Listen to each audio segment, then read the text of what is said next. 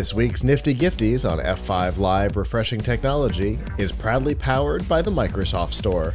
Whether you're looking for a new laptop, tablet, Xbox, games, or a whole lot more, you can get them at the Microsoft Store. Remember, current students, faculty, parents, and active military can save up to 10% off almost everything. To browse the products and learn more about the discounts, you can go to f5live.tv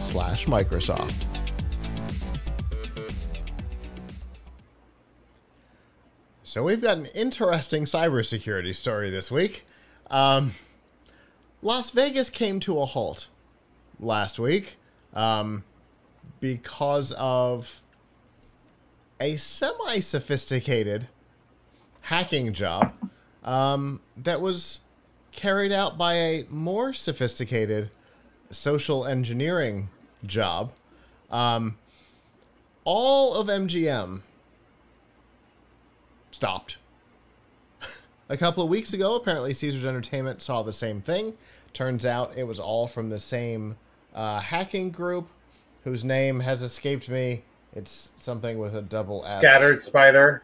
That's the one. Scattered Spider. Scattered Spider, right? Yeah, that's the one. Um, it's a group of young kids, 19 to 22 mostly. Um, and they've had some high profile hacks, almost none of them using actual hacks. Almost everything they've done so far has been because of social engineering. If you don't know what social engineering is, that is hacking a person rather than a computer. So, in the case of MGM, here's how they did it. Somebody went on LinkedIn, clickety clack, went looking for somebody that worked at an MGM hotel in Las Vegas. Got their name, then called the help desk and said, "I'm LinkedIn person. I've I'm not on site. My password's not working. Can you reset it for me?" And they did. That was it.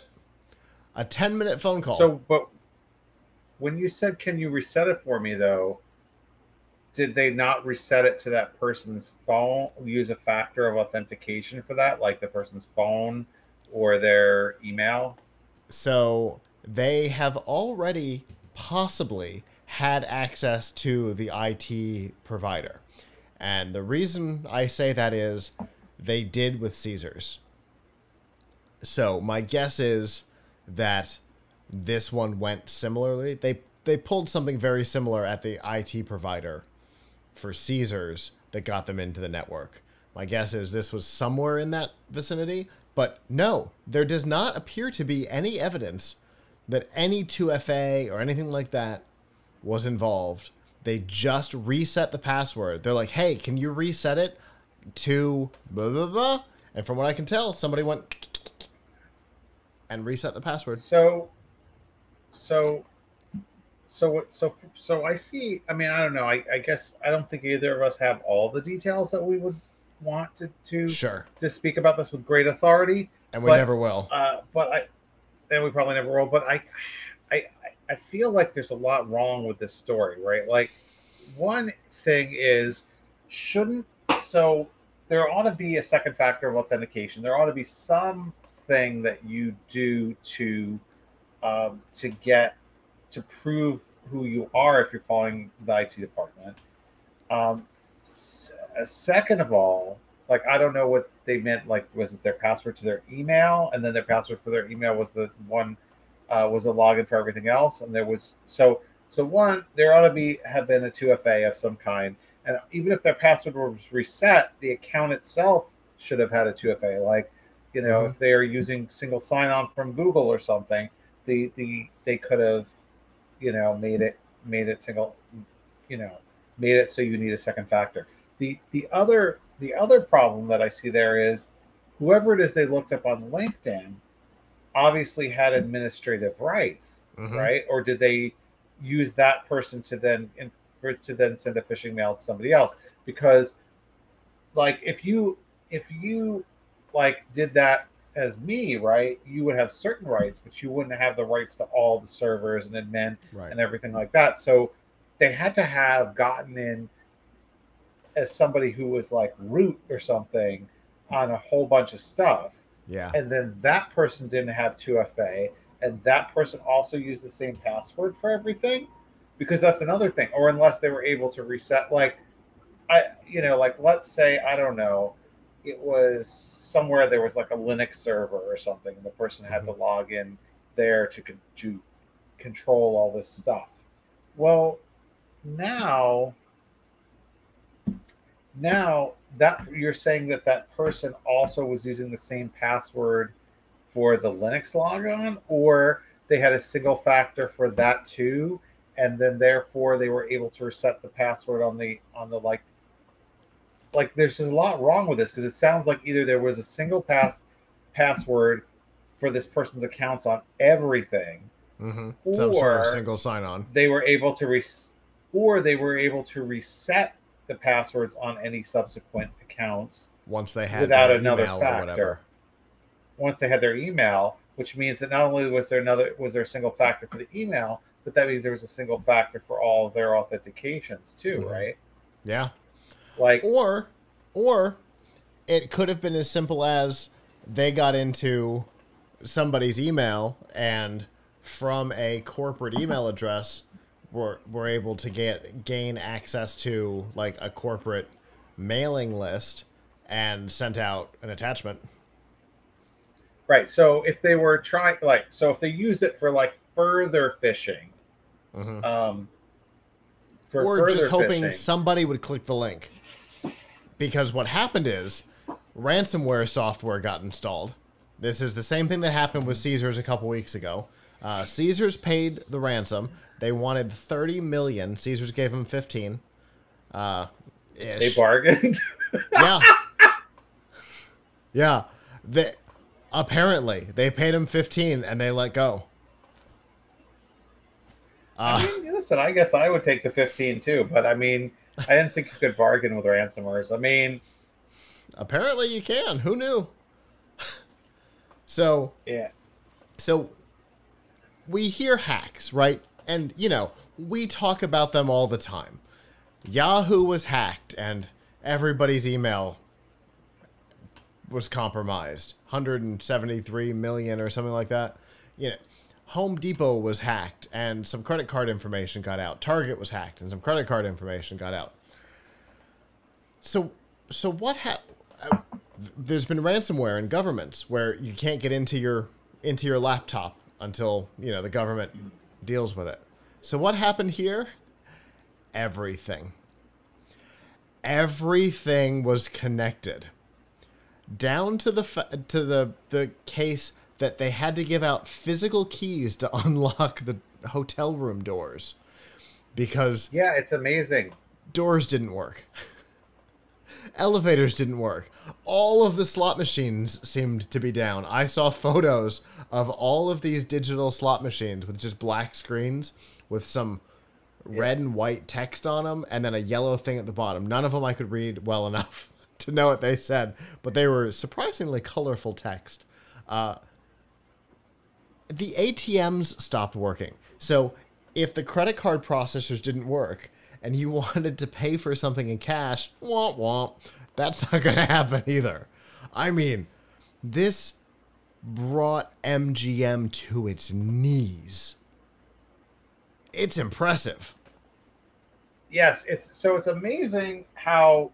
So you said in the article that it's not very sophisticated, but they managed to do a lot of damage. Mhm. Take control now. Maybe that maybe it's just that easy. What's really weird to me is so I shared in the chat room an article that someone had shared with me from a site called 404 Media. I've never uh, I have heard of them before. I don't know why you would call yourself 404 Media, but whatever.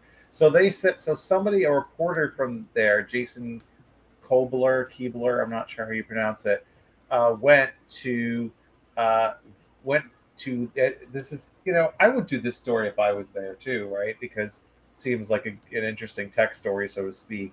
He went to an MGM casino and to gambling under these hacked conditions to find out, um, you know, just how bad it is, right? And uh, you know, it's pretty bad. what what was really weird about it though was so, the, the randomness of it. So, you know, he reports that there were like rows of machines and some of them were not working and some of them were working.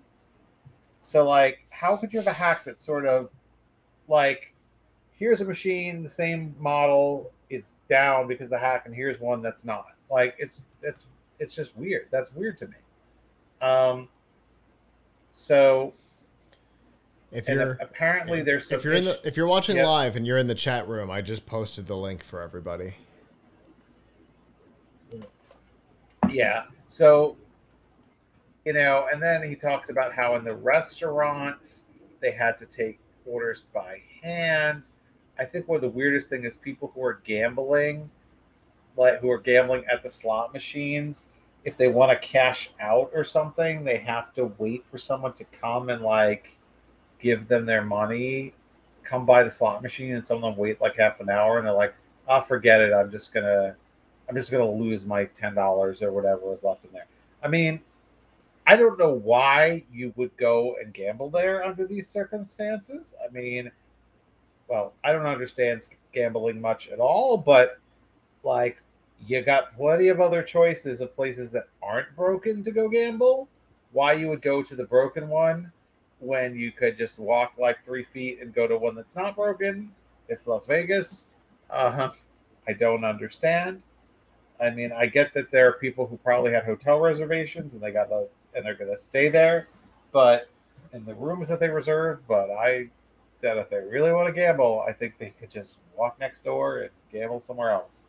But uh, I mean, obviously, it's costing uh, MGM a lot of money because there's probably a lot of people who are walking away from gambling at these machines, and not just the slot machines, but walking away from the kind of you know crazy stuff that's you know delays in checking in, delay Uh-huh. you know delays in getting your um, you know bill at the restaurant, all this crazy stuff. Um, and the way that uh, you know the author put it, it's like the people who are really suffering here are not the. I mean, yes, it's a real inconvenience for the the tourists, but uh, you know the people who have to work there, they have to they have to work much harder because of this. And Yeah. I kind of got the impression, uh, uh, uh, I kind of got the impression that like he's saying, "Oh, you know, MGM really should pay the should really pay the ransom," uh, and you know, seem, seemingly a lot of the the staff kind of told him, "Hey, told him, hey, we really wish they would just pay up so we could get back to business as usual." Yeah. Um, but I don't know what if I would pay up if I were MGM like Caesars did. I think you know that's negotiating with terrorists, and Uh huh. and it encourages more the same. And how do you know that if you pay them, they're not just going to turn around and do it again next Right. week? Right. And you know, the fact that Caesars paid it is probably the reason why MGM got hit. Because they proved that it's a profitable endeavor. Right. I mean, and I'm sure that Caesar's calculation was like we're a casino, we're rolling in money, and, and it costs us more than $15 million. Probably would cost us more than $15 million to not pay it. Per day. The number I saw was 18 million per day they were losing. Ah, so yes, they would you know. So, but I understand MGM's position. I mean, it's Yeah. ro- now. How do we know that the hackers are 19 to 22 years old? So apparently there's number there's information available on this group. They're pretty loud about what they do. Uh which is fascinating. There's there I guess there's profiles. Aren't they going to get caught? Well, when you're 19 to 22, you think you're not going to. Are they? Do we know? Are they in some country that's beyond extradition or something? Probably. Uh, that I did not see. Uh, I didn't see any country of origin information. Um, but like, th- they're apparently v- a very loud group. They're not afraid to talk about what they're up to, and ish who they are. Obviously, they don't put names out there, but you know, they've got their their hacker names. They're not, you know, spinning around in phone booths, but you know what I mean. They've they've got their their hacker pseudonyms and ages and profiles and the whole thing. Oh, wow, this is very interesting. Scattered Spider is believed to be primarily made up of operatives based both in the United States and the United Kingdom, according to Wikipedia, which is, Oh, of course, never wrong.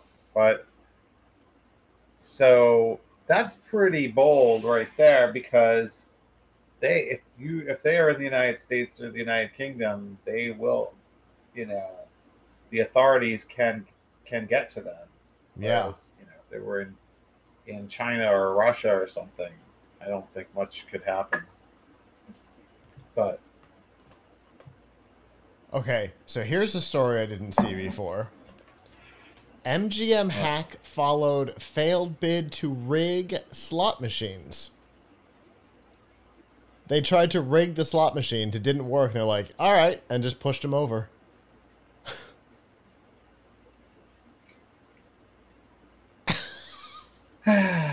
see, rigging the slot machine would be more. I, I mean, I don't know much about how traceable it is to like get you, you know, when you're getting collecting your ransom for ransomware, but like rigging the slot machine, wouldn't that mean that they'd have to actually go there in person and use a slot machine? So, so it says this That article from pretty bold. Yeah, from the Financial Times says in a trick reminiscent of a heist movie, the hackers who allegedly breached the security at MGM's casinos this month originally planned to manipulate the software running the slot machines and recruit mules to gamble and milk the machines. oh man, that is that is uh, that is that is bold. That is bold. Thwarted in that plan, the group fell back on a decade old formula that has reaped billions of dollars for ransomware operators. They siphoned off the company's data, encrypted some of it, and are now demanding cryptocurrency to release it. Yeah, I mean, it's uh, you know, it's a real, it, it's a really serious problem. It's a The really serious problem. The Financial Times talked to somebody over Telegram claiming to be part of the group. Uh huh. Right. Wow. And what did they say? Uh, uh, describe the techniques used to evade detection in the system.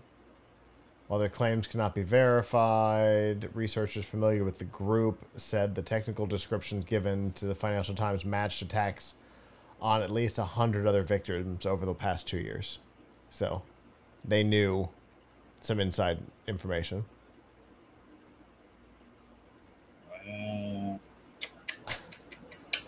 Well, So two things.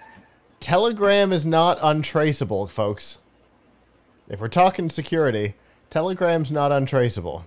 The messages may not be uh, unencryptable, but the communication is physically traceable. Just putting that out there. So, I mean, they might they might have, you know, I don't know. They might be on a zombie computer or something. Yeah. Uh, also, also Financial Times. I mean, they're journalists, so they're not. I mean, unless someone were to obtain a warrant or something, they're not going to turn over Uh, the source information. they're not going to turn over their source. Yeah. Uh, Journalists have been held in contempt of court for not turning over, but they've never been forced to turn over. yeah, I can't. I can't see how. I mean, whoever whoever conducted that interview, they're not going to want to turn it over. I wouldn't. No, of course not, because you'll never get No a confidential source again. yeah, no credibility. So can't do that. Um, But that doesn't necessarily mean so- the warrant could be not of the source, but of communication with an account. doesn't necessarily have to involve yeah, the the journalist. Telegram is surprisingly easy to trace. Yeah, I mean, that's true. I mean, maybe they go into Telegram and, and warrant Telegram. I don't know. Yeah, all they have to know, do is know one of the accounts in the conversation. Yeah.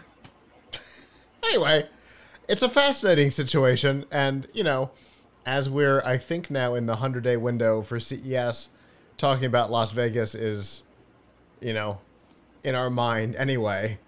Uh, oh, oh, that makes me want to say just one more thing. Uh, colleague of a uh, friend of mine, colleague of mine, Gloria Sen, posted posted this story about Las Vegas. I, I think maybe this is where I saw I saw got the 404 media story on on Twitter, and she said something like, "Well, good thing this isn't happening during CES." And my thought was the exact opposite. Like, oh, I, I, it would be great if this happened during CES because then I could walk through casino without hearing all those annoying slot machines. Plus, we'd be there to be able to cover this firsthand. Yes, I, yes. I mean, I don't see. I mean, I guess it might be an annoyance if this happened to everywhere, and then I go to get my Panda Express and I have to cash or something. but, but like other than that, um, other than that, I don't really see see the down like see see how this would be a downside for uh for CES because I I I hate gambling so and I hate uh-huh. the annoying noise and crowd of casinos so if, if this stopped if this stopped the casino part of it it would be great for me.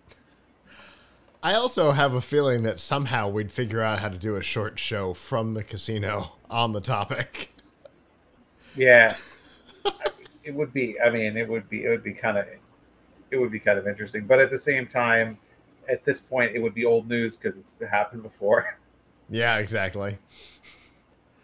Well, if they've hit over 100 people, 100 organizations before, my guess is they're ramping up in uh, style and severity. That usually means that they're going to get caught at some point because you start getting more reckless. So yeah. We'll definitely keep yeah, an eye on this group like. And uh, and see what comes of it.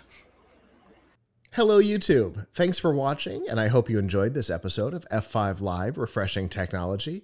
If you did, please uh, subscribe to the channel down below, and of course, hit the notification bell because we know that subscriptions don't mean much on YouTube anymore. Uh, if you've got topics that you'd like us to talk about in the future, please uh, comment them down below. And if you'd like to not follow us on YouTube, there's lots of ways that you can follow along with our content by going to plughitzlive.com slash subscribe. There you'll see all of our shows and all of the ways that you can watch, listen, and follow along.